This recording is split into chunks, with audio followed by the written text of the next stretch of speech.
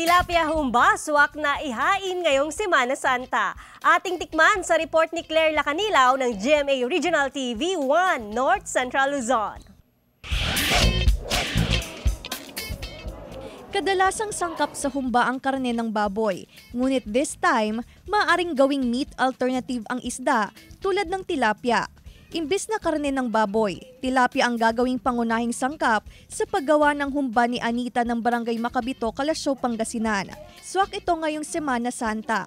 Para sa Semana Santa po, pwedeng gawin ito sa, sa lahat po ng ano, gustong matikman yung humba. Sa paggawa ng humba, ihanda ang mga sangkap tulad ng saging na saba, condensed milk, soy sauce, paminta, bawang, seasoning, black beans, tubig at tilapia. Iprito ang saging hanggang sa maging golden brown, saka isunod na iprito ang tilapia.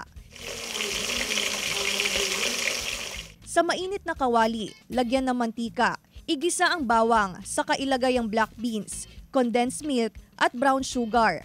Haluin ang mga sangkap, saka lagyan ng tubig at lagyan ng saging at soy sauce. Haluin mabuti hanggang sa lumapot ang mixture. Saka ilagay ang tilapia at ready na ang humba na sinangkapan ng tilapia. Oo, so Semana Santa, very good ito. Wala yung karne. Dapat sa Semana Santa, hindi tayo kakain ng mga meat, ano po.